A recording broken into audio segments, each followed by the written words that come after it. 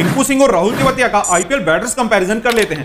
ये दोनों ही प्लेयर अपनी अपनी फ्रेंचाइजी के लिए फिनिशर का काम करते हैं। कंपैरिजन में हम run average strike rate sixes और 50 प्लस स्कोर को कंपेयर करेंगे।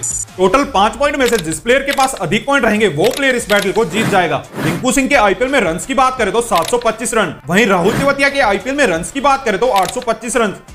इस बैटल में एक पॉइंट तेवतिया की झोली में। रिंकू सिंह की आईपीएल में एवरेज की बात करें तो छत्तीस पॉइंट दो पाँच।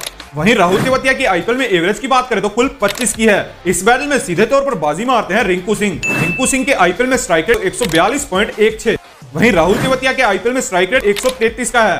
बैटल में भी सीधे तौर पर बाजी मारते हैं रिंकू सिंह। रिंकू सिंह के आईपीएल में सिक्सेस करें तो 38 हैं। वहीं राहुल तेवतिया के आईपीएल में सिक्सेस तो 42 हैं। इस बैटल में बाजी मार जाते हैं राहुल तेवतिया। रिंकू सिंह के आईपीएल में 50 प्लस स्कोर चार हैं। वहीं राहुल तेवतिया ने आईपीएल में अभी तक एक फिफ्टी लगाई है। इसलिए बैटल का आखिरी पॉइंट भी रिंकू सिंह की झोली में। इसी के साथ बैटल का विनर है रिंकू सिंह।